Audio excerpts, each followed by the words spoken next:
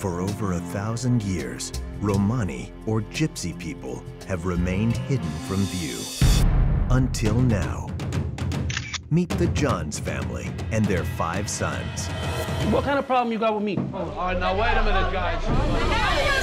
For generations, they've owned psychic healing shops in New York City, but now they're at a crossroads. This evil spirit leave this place. Spirit the jantas up on Mindy. In this family, grandparents Bob and Tina call the shots. You guys follow me. There's no American way, there's my way. Their son Nicky believes in sticking to family traditions above all else, He has to teach him our tradition like that they taught me and you. while his brother Bobby wants the family to become modern Americans, I think it's time we adapt with the times, like every other culture has. leaving the two brothers fighting for control. They're no angels, but family always comes first.